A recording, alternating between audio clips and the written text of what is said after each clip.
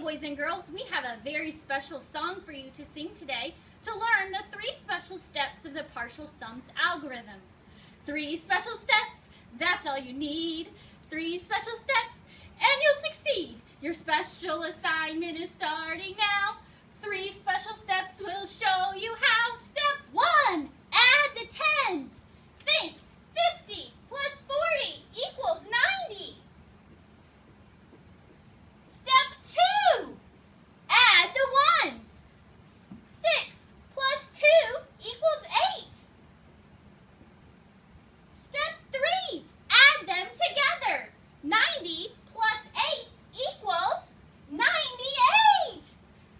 special steps, that's all you need.